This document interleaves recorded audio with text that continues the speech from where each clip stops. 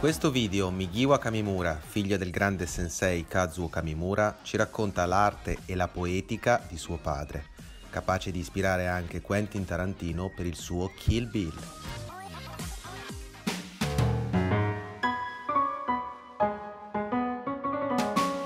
3っていうと分かんないんですけど、まあ、とにかくその大量の原稿紙が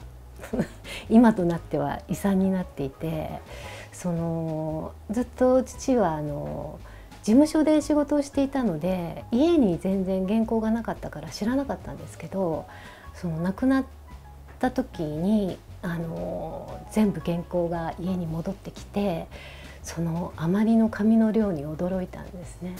で当時あの父はとても忙しかったので週刊誌に連載をしていたので月に400枚とかの原稿を書いていてもうとにかく次から次へと書いていたからその原稿はあくまでもその雑誌に印刷されるための下書きというか半下でしかなかったんですがこの時間を経て、まあ、半世紀ぐらい経って今やその70年代のその手書きのあの原稿が非常に貴重な遺産となっているということに気づいたんですね。で特にその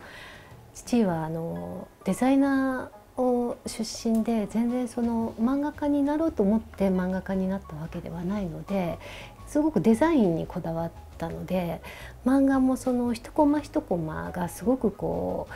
余白の美しさであるとかその線の美しさであるとかそういうことに一コマ一コマこだわったってこだわっていたんだっていうのがその紙の大量の紙の束一枚一枚から見て取れて